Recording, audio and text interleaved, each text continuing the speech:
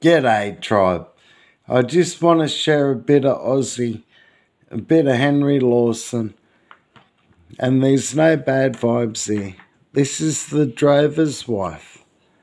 It's a cool story about a snake in, in a house and all sorts of other stuff. There's a dog and a snake. I hope I can get that.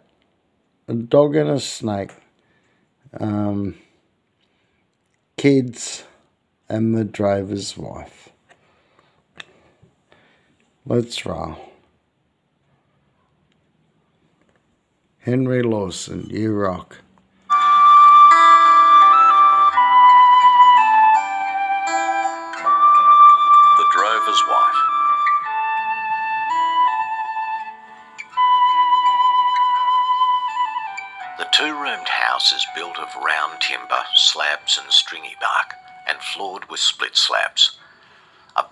Kitchen standing at one end is larger than the house itself, veranda included.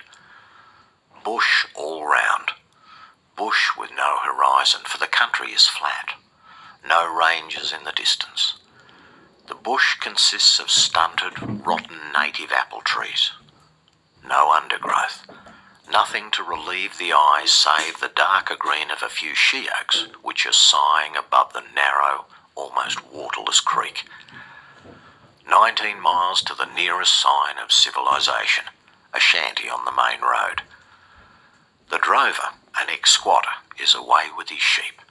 His wife and children are left here alone. Four ragged, dried up looking children are playing about the house. Suddenly, one of them yells, Snake! Mother, here's a snake! The gaunt, sun-browned bushwoman dashes from the kitchen, snatches a baby from the ground, holds it on her left hip, and reaches for a stick. Where is it? Here, here, gone into the wood heap, yells the eldest boy, a sharp-faced urchin of eleven. Stop there, mother. I'll have him. Stand back. I'll have the beggar. Tommy, come here, or you'll be bit. Come here at once when I tell you, you little wretch. The youngster comes reluctantly, carrying a stick bigger than himself. Yells triumphantly, There it goes under the house, and darts away with a club uplifted. At the same time, the big, black, yellow eyed dog of all breeds, who has shown the wildest interest in the proceedings, breaks his chain and rushes after that snake. He's a moment late, however, and his nose reaches the crack in the slabs just as the end of its tail disappears. Almost at the same moment, the boys' club comes down and skins the aforesaid nose. Alligator takes the small notice of this and proceeds to undermine the building, but he's subdued after a struggle and chained up again. They cannot afford to lose him. The drover's wife makes the children stand together near the doghouse while she watches for the snake. She gets two small dishes of milk and sets them down near the wall to tempt it to come out. But an hour goes by and it has not shown itself. It is near sunset and a thunderstorm is coming. The children must be brought inside. She will not take them into the house, for she knows that the snake is there and may at any moment come up through a crack in the rough slab floor. So she carries several armfuls of firewood into the kitchen and then takes the children there. The kitchen has no floor, or rather an earthen one, called a ground floor in this part of the bush. There is a large, roughly made table in the centre. She brings the children in and makes them sit on the table. They are two boys and two girls, mere babies. She gives them some supper, and then, before it gets dark, she goes into the house and snatches up some pillows and bedclothes, expecting to see or lay her hand on the snake at any minute. She makes a bed on the kitchen table for the children and sits down beside it to watch all night. She has an eye on the corner and a green sapling club laid in readiness on the dresser by her side. Also her sewing basket and a copy of Young Ladies' Journal. She has brought the dog into the room. Tommy turns in under protest, but says he'll lie awake all night and smash that blinded snake. His mother asks him how many times she has told him not to swear. He has his club with him under the bedclothes, and Jackie protests, Mummy, Tommy's skinning me alive with his club. Make him take it out. Tommy says, Shut up, you little monger. Do you want to be bit with a snake? Jackie shuts up. If you're bit, says Tommy after a pause, you'll swell up and swell up and turn red and green and blue all over till you burst, won't he, mother? Now then, don't frighten the child. Go to sleep, she says. The two younger children go to sleep, and now and then Jackie complains of being squeezed. More room is made for him. Presently, Tommy says, Mother, listen to them blanky little possums. I'd like to screw their blanky necks. And Jackie protests drowsily, But they don't hurt us, the little blanks. The mother says, There, I told you you'd teach Jackie to swear. But the remark makes her smile. Jackie goes to sleep. Presently, Tommy asks, Mother, do you think they'll ever extricate the blanky kangaroos? Lord, how am I to know, child? Go to sleep. Will you wake me if the snake comes out? Yes, go to sleep. Near midnight, the children are all asleep, and she sits there still sewing and reading by turns. From time to time, she glances around the floor and wall plate, and whenever she hears a noise, she reaches for the stick. The thunderstorm comes on, and the wind rushing through the cracks in the slab wall threatens to blow out her candle. She places it on a sheltered part of the dresser and fixes up a newspaper to protect it. At every flash of lightning, the cracks between the slabs gleam like polished silver. The thunder rolls and the rain comes down in torrents. Alligator lies at full length on the floor with his eyes turned towards the petition. She knows by this that the snake is there. There are large cracks in that wall opening under the floor of the dwelling house. She's not a coward, but recent events have shaken her nerves. A little son of a brother in law was lately bitten by a snake and died. Besides, she's not heard from her husband for six months and is anxious about him. She's used to being left alone. She once lived like this for 18 months. As a girl, she built the usual castles in the air, but all her girlish hopes and aspirations have long been dead. She finds all the excitement and recreation she needs in the Young Ladies' Journal, and, heaven help her, takes a pleasure in the fashion plates. Her husband is an Australian, and so is she. He is careless, but a good enough husband. If he had the means, he would take her to the city and keep her there like a princess. They are used to being apart, or at least she is. No use fretting, she says. One of her children died while she was here alone. She rode 19 miles for assistance, carrying the dead child. It must be near one or two o'clock. The fire is burning low. Alligator lies with his head resting on his paws and watches the wall. He's not a very beautiful dog to look at, and the light shows numerous old wounds where the hair won't grow. He's afraid of nothing on the face of the earth or under it. He will tackle a bullock as readily as he will tackle a flea. He hates all other dogs, except kangaroo dogs, and has a marked dislike to friends or relations of the family. They seldom call, however. He sometimes makes friends with strangers. He hates snakes and has killed many, but he will be bitten some day and die. Most snake dogs end that way.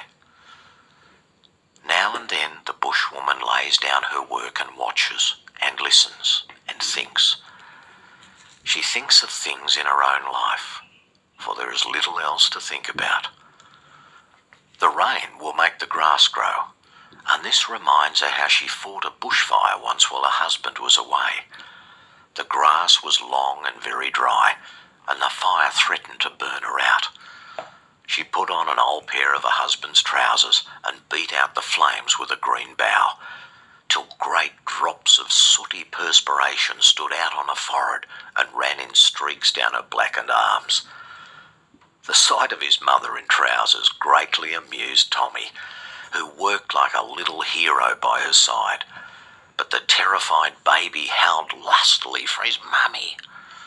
The fire would have mastered her, but for four excited bushmen who arrived in the nick of time.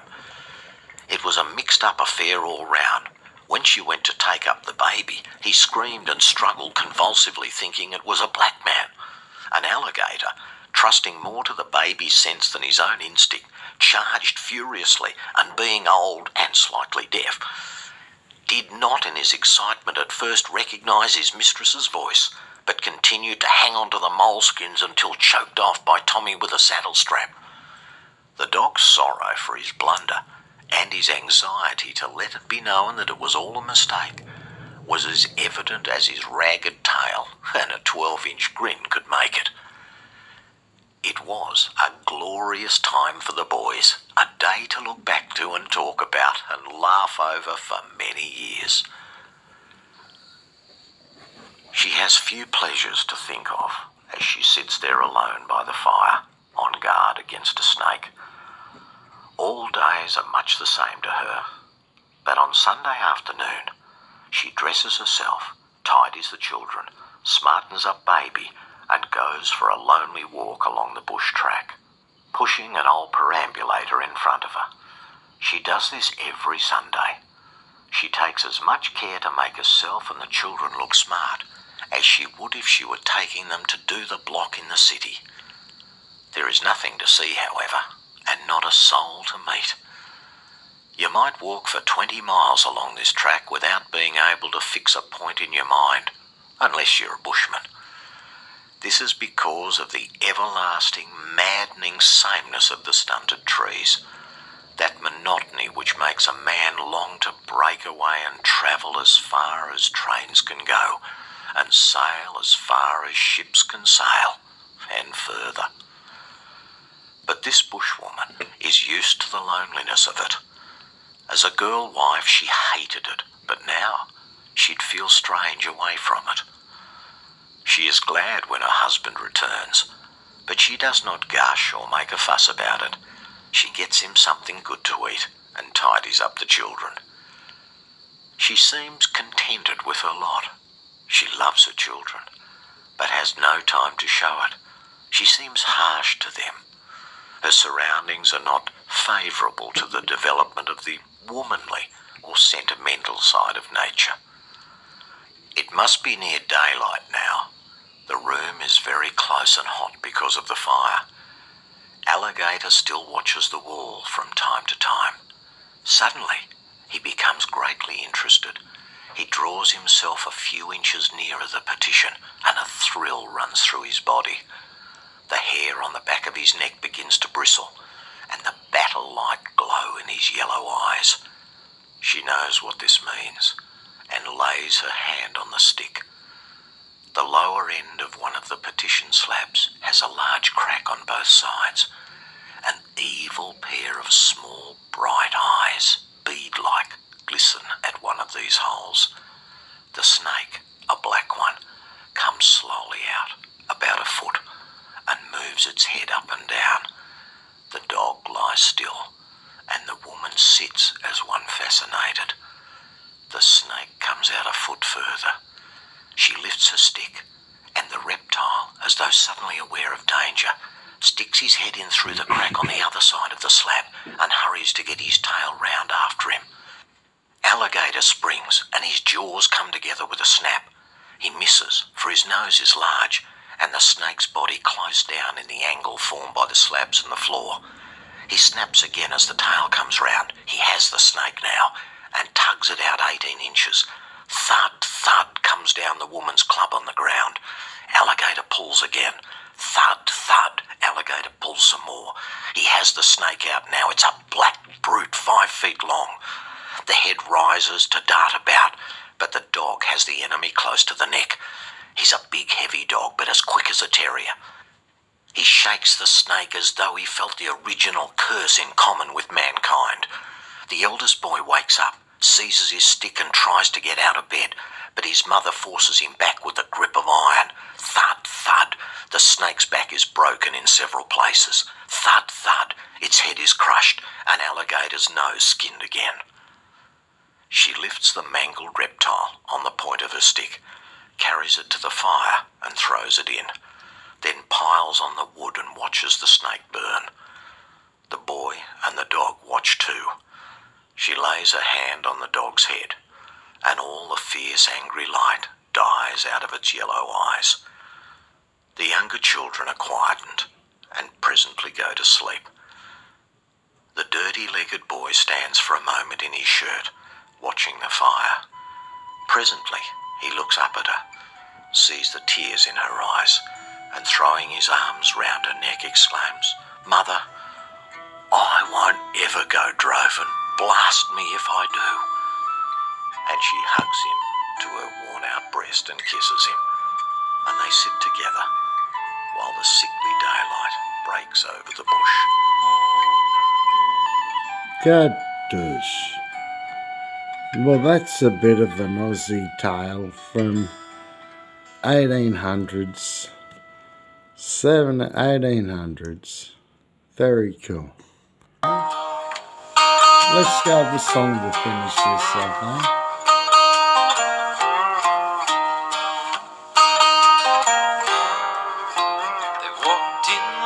Heard about the show on a country spot on the radio. The sheepskin coat was sewn by hand, their hats stayed on all night. They'd ridden their horses through the driving rain from the camp they'd made on the Billaroo Lane. Stock was yarded, the dogs were chained. It was time to hit the town. She was a drover's wife, lived in a caravan. She could match the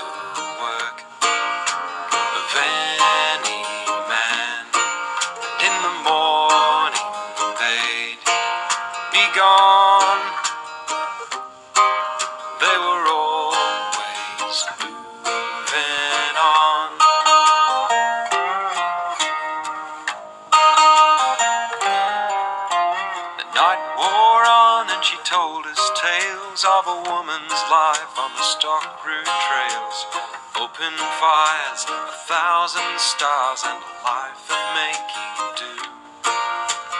Eyes were wide on every child, the local women winked and smiled. The fellas couldn't quite work out this unexpected guest. She was a drover's wife, lived in a caravan. She could match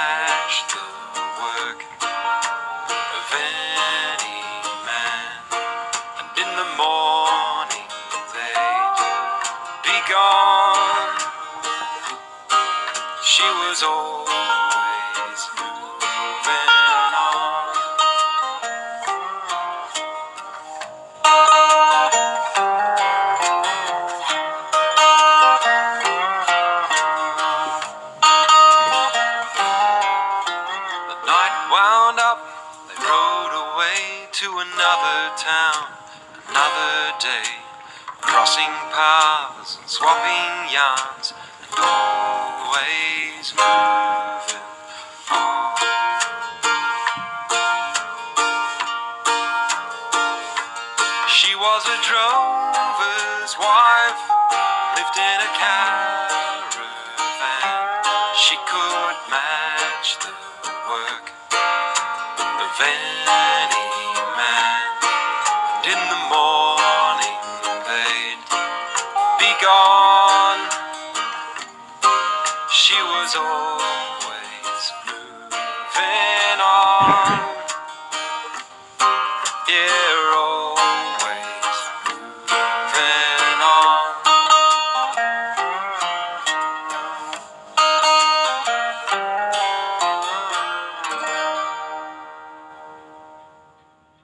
God douche.